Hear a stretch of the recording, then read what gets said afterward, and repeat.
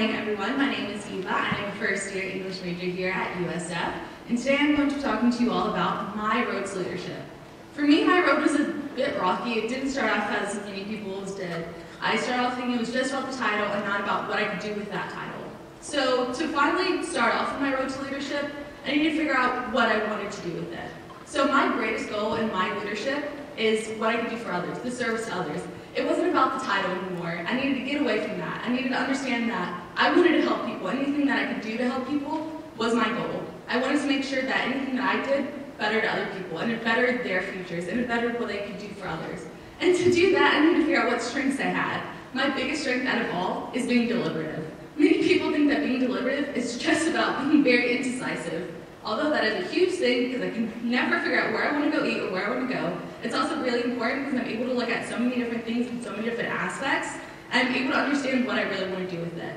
And through my strengths, I discover my values. My biggest values in life are teamwork and trust. Trust is the biggest thing for me because in a relationship, there's that's it, trust. And in a leadership, that's what you need, is trust, is the biggest foundation. Because leadership is trust. It's getting someone else to trust you to do the best that you can be so they can push you. And for me, my biggest relationships in my entire life are my family, my rocks, the people who have pushed me to be the best that I can be throughout anything in my life.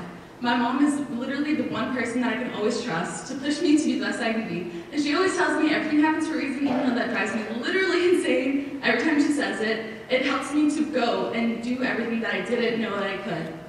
And when my family's not around, my friends are right there along with me, pushing me, telling me that I can still do it even when I don't think I can. And they're there to tell me that what I'm doing matters, and what I can do matters, and what I want to do will make a difference in life.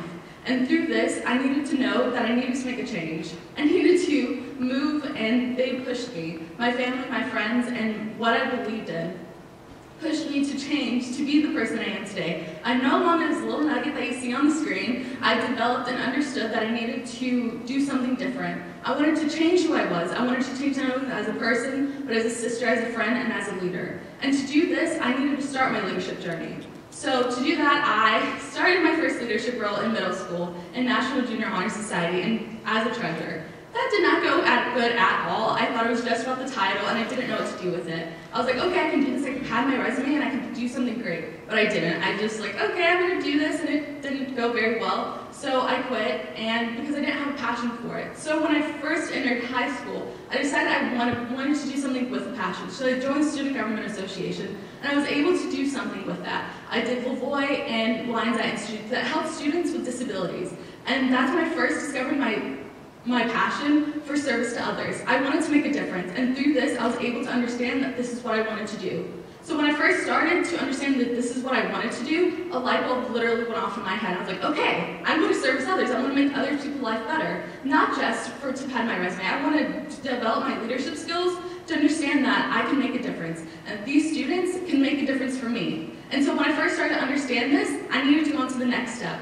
I needed to push myself to be the better person that I am and to help them. So I needed to develop my leadership skills. I didn't just give them the leadership that they have. I wanted to get leadership, give it to them, and make sure that they know what to do with it. So to do that, I didn't just develop leadership. I needed to grow as a person. and I needed to get out of my comfort zone. And to do that, it took a little time, even because I'm very shy, and so I needed to leap from my comfort zone, almost 13,500 feet in the air, literally leap from a plane, because that took a lot of comfort zone. Because my comfort zone is literally in a corner, two feet planted on the ground, not talking, not letting my voice be heard. And so from this, I was able to understand that I can do great things, and I could be something great. And this is why I lead. I want carpe diem. I want to seize the day. I don't ever want to look back on a moment and regret something. I want every moment to be extraordinary, and that's why I lead. I want others to have this. I want everyone to have this carpe diem moment. I want everyone to seize the day and make their lives extraordinary. I don't ever want anyone to regret what they do or wish they did something differently.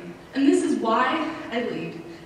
I lead. I don't want there to just be equality, I want there to be justice. I don't want you to just be given an opportunity, I want you to know what you can do with that opportunity. I want to help those that don't know what they can do with that opportunity. And that's why who I lead. I help I lead those who don't know what they can do and don't know what they have. And that's what I needed when I was younger, and I want that to be given to other people. I want my little sister to understand that. And everyone in this room and everyone in this picture is still pushing me to lead who I am today, and still pushing me to develop my leadership skills, and still pushing me to change and be the better person I am talk, talk and acquire my voice and know that I have a voice and understand that I can do great things. So I just want to thank you all for still pushing me and still telling me that I have a voice and I need to take a stand. Thank you.